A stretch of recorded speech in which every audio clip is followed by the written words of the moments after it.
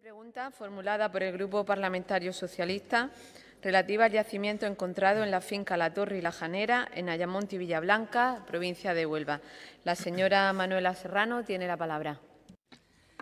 Gracias, presidenta. Consejera, buenas tardes. Como consecuencia del movimiento de tierra para la puesta en regadío de dos fincas en Ayamonte y Villa Blanca, La Torre y La Janera, en la provincia de Huelva, se descubrió la existencia de un, eh, de un importante yacimiento prehistórico de la época megalítica que puede datarse entre eh, el tercer y cuarto milenio. Está compuesto por cientos de piezas entre menires, estelas y rocas talladas. Este descubrimiento viene desde el año 2018, donde ya la anterior Delegación de Cultura de la Junta de Andalucía en Huelva lo consideró un hallazgo muy importante, de un valor incalculable para el estudio de nuestra historia y la delegación encargó un trabajo de estudio del yacimiento, llegando a una memoria preliminar a último del anterior mandato. La memoria final llegó cuando usted, en agosto, cuando usted ya era consejera. Al mismo tiempo que se encargó este informe arqueológico, en el 2018, desde la Delegación de Huelva de Cultura, se paralizó cualquier actividad agrícola para para que no se dañara este yacimiento, autorizando la realización de actividad arqueológica preventiva. Nos consta que el Ayuntamiento de Ayamonte va a apostar por este yacimiento de enorme valor.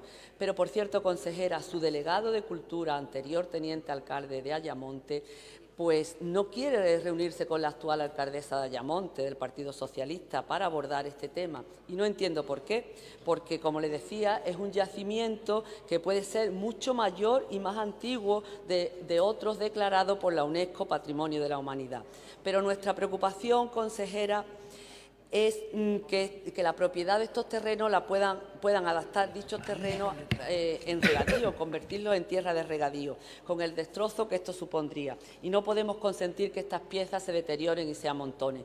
¿Qué acciones está desarrollando su Consejería de Cultura y Patrimonio para proteger este yacimiento encontrado en la finca, la torre y la janera, en los términos municipales de Ayamonte y Villablanca, en la provincia de Huelva? Muchísimas gracias.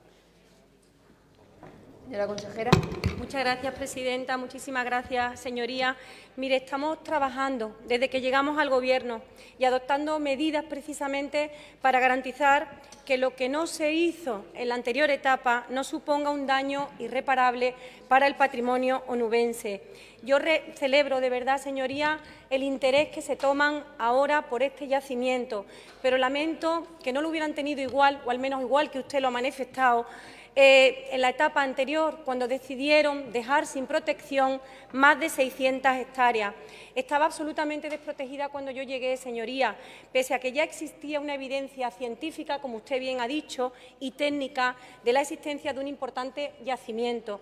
Pero no se preocupe, señoría, estamos protegiéndolo y seguimos adoptando medidas. Vamos también a impulsar la investigación y, en definitiva, vamos a hacer lo que los expertos proponen y que la anterior Administración no hizo señoría. Muchísimas gracias. Señora Serrano.